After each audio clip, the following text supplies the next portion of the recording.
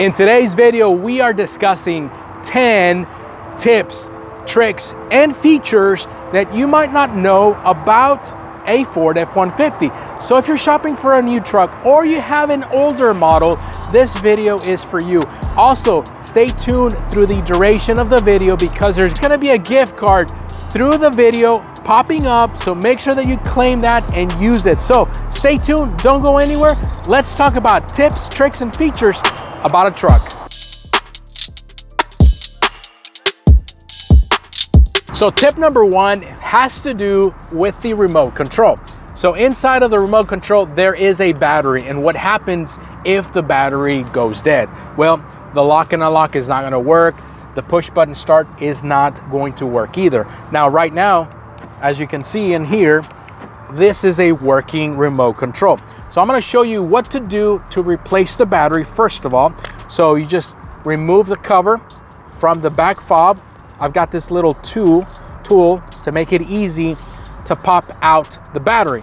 The battery is CR2450. That is the size of the battery in case you want to replace the battery. I'm gonna put this back together and then I'm gonna show you that the truck is not going to start push the button. Key is not detecting. Lock and unlock is not working. Now, the trip, the tip to this and the trick is to remove this bottom cover to reveal a hole that is in the cup holder, right? You place the key inside of the hole as you can see right there. And now the truck should allow us to start up. Boom. And that's with a dead remote control. There's a little tip. It's not a big deal, but one customer one day told me, man, I did not know that I can turn off that message every time that I turned off my truck.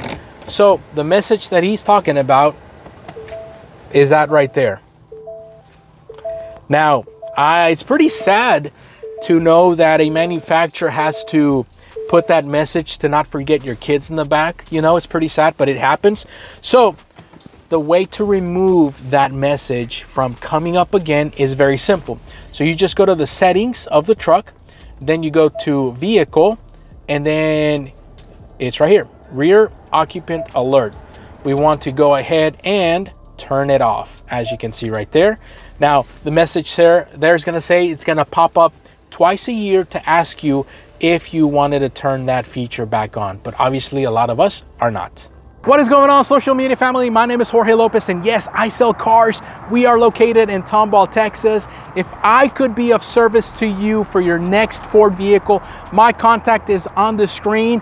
I would love to have a conversation with you. Now, let's get back to the video.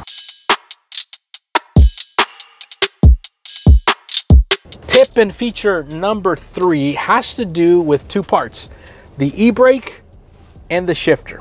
Let's talk about the parking brake first. So normally you would pull on this tab, right, to engage your parking brake, as you can see right there. To release it, you would have to press the brake pedal and push this away, right? And then you are good to go and good to drive. But another way that you can do it, and that's where this tip comes into play, if you have your parking brake on and you are already in drive, all you need to do is give it a little bit of gas and you start moving, and boom, the parking brake goes away and it's cleared off. Now, part number two is let's say that you got home and you forgot to put the shifter into park. Well, Ford really thought about that because there has been cases where people do forget and the car starts to roll. So let's assume you got home, you're in the home driveway and look at what the shifter does as soon as I open the door. Yeah, it automatically put itself into park. So these are two really cool features. Use it today.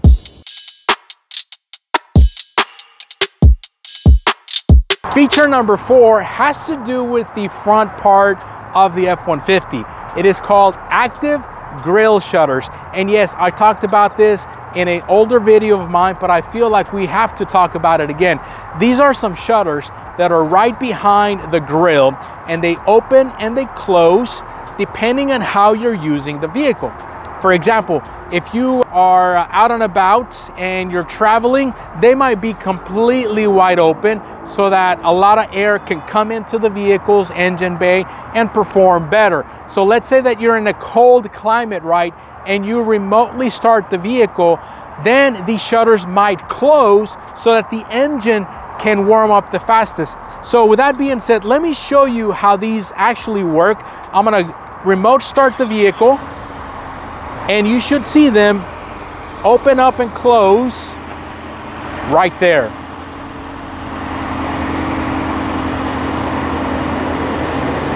So you really don't have to do anything to the vehicle. The active grill shutters are there to help the vehicle perform better and you don't have to do a single thing.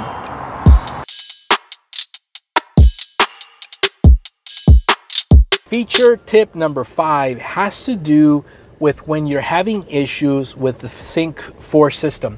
So there's two ways that you can do a reset on the system if you're having problems with it before you even bring it to the dealership. And this one here, you can actually do it while you're driving. So let me show you.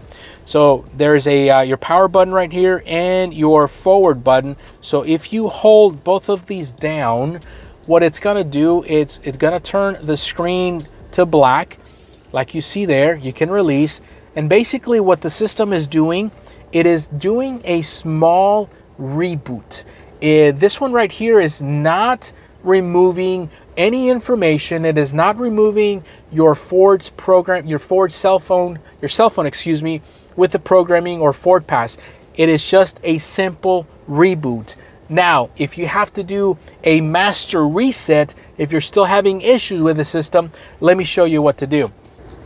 So to do a master reset, you go to settings, you go to general, and then at the bottom, you have reset right here. You press that, and then right here, boom, factory reset. All systems and setting will be reset to factory. So basically, you can do this as a last resort. This will erase your Ford Pass connection, your Bluetooth connection, but try these two resets before you take your vehicle to your Ford dealership.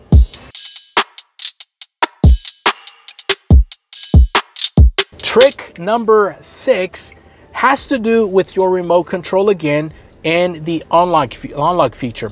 So by default, from the factory, if you hit the unlock button on, the, on your remote control, all doors unlock at the same time. But let's say that you live in a menacing area, or if you're a lady and you don't want the other doors to unlock as well when you hit the unlock button, well, let me show you this trick. You go to settings first of all, and then you go to vehicle. Under vehicle settings, you scroll down until you see locks. And then from here, remote unlock. As you can see, it is defaulted to open up all of the doors, but if you select driver's door, only the driver's door is going to unlock. So you can change this according to your preference. Tip number seven has to do with memory seats, as you can see right there. This truck has that. And I love memory seats because it allows multiple people to use the vehicle without having to hassle too much about programming. So in this case, I want to also show you that you can program your seating position with a remote control, his and hers. So when somebody hits the unlock button, then all of the features move to that setting. When the other person hits the unlock button on that other remote control, then all of the seating positions move to that person's. So basically, we have to first of all program your seats and steering wheel and all that stuff, and then program this remote control. So this is what we do. We adjust everything, and then what we do is we hold down this memory seat button once, let it go, hit it again because we're gonna hear a second beep. Once we hear a second beep, we're gonna hit the lock button and that'll conclude the programming. So let's test it out. That's beep one, beep two, hit the lock button, And now this seating position has been memorized for this remote control. Try it out. Point number eight, the door code. Sometimes you don't get that from the factory. Sometimes if you buy a used vehicle, you don't get that as well. So in this point number eight, I'm gonna show you how to retrieve the door code, how to use it and change it, and also some of the functions that you can use with that door code. First of all, what you need to do is remove this rubber bottom uh, tray cover, and then you have to push the button in the accessory mode, drop key number one, count four seconds, turn the truck off, drop key number two, hit the button, and the magic should appear on the dash.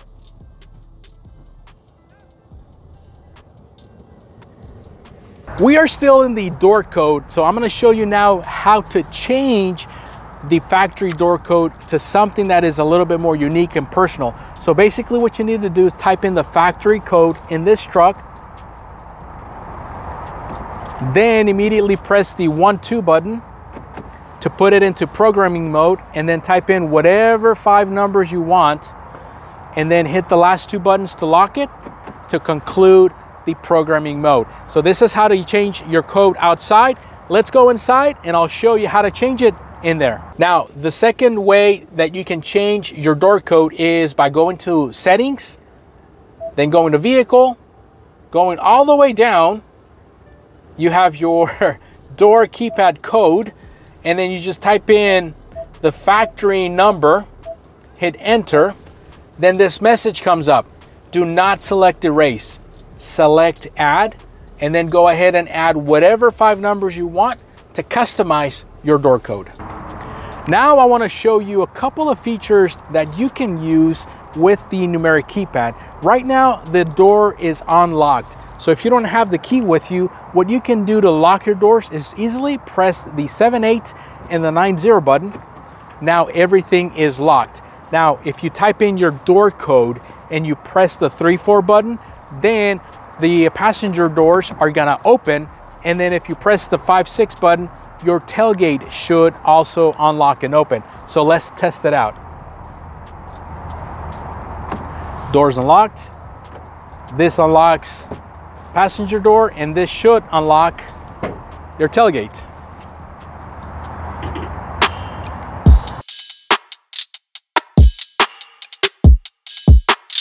Tip number nine is called Global Windows, and it has to do with not only the windows of the truck, but also your remote control. I don't know which state you live in, but here in Texas, sometimes it feels like we can get up to 140 degrees. Yeah. And sometimes you walk up to your truck and you forgot to remote start it. So don't sweat it, man.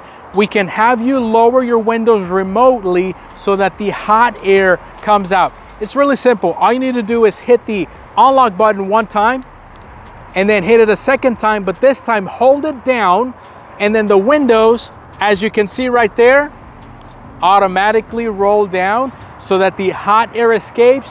You get into your truck and it's not gonna burn your butt.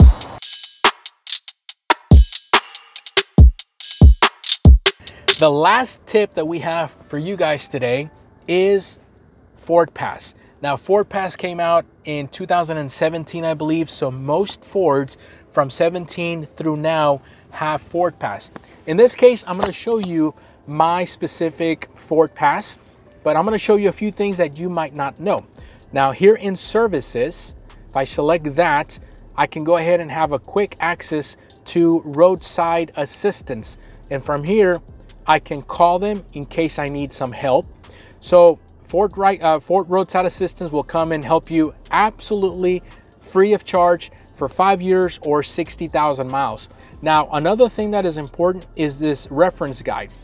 So from here, you've got how-to videos on how to operate your vehicle and also your owner's manual is now digital. So from here, you can actually download information because keep in mind that now everybody wants to save paper, right? And I can't tell you how many times I've had people that have never read the owner's manual you know, there's a few that do, but for the majority of people, now we've got it digital. And then also, let's continue over here in Ford Pass. What I wanna show you, I feel like this is very important and something that a lot of people don't use. Vehicle health reports. So from here, the vehicle itself does reports and checks uh, powertrain, checks braking system. As you can see there, you can also set this up to uh, give you this report either monthly, quarterly, so on and so forth. So I feel like getting these reports from Ford themselves for your vehicle's health, I think it's a really cool and very important feature. So take advantage of Ford Pass, download for free. It is at no charge. There you have it guys. This is a video about 10 things, tips and tricks and features that you might not know about a Ford F-150. I sincerely appreciate you guys being here. If you like the content, man, we would love a like. Share it to somebody that might see value in these tips and tricks. And if you are interested in getting a Ford vehicle, hey man, I am your guy. I sincerely appreciate you. On to the next video. Have a blessed day.